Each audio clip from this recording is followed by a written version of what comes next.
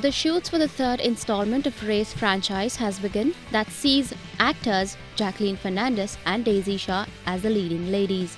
The first two parts of the film saw Katrina Kaif and Deepika Padukone respectively as the female leads and now looks like someone is under pressure to match up to what the other two ladies delivered in the first two prequels.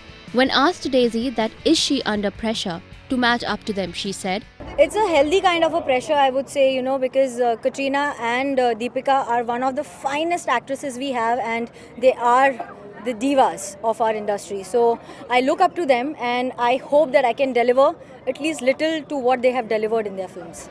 Well, earlier Salman Khan, who plays the male lead in the movie, revealed his first look from the film, looking fierce and pointing a gun.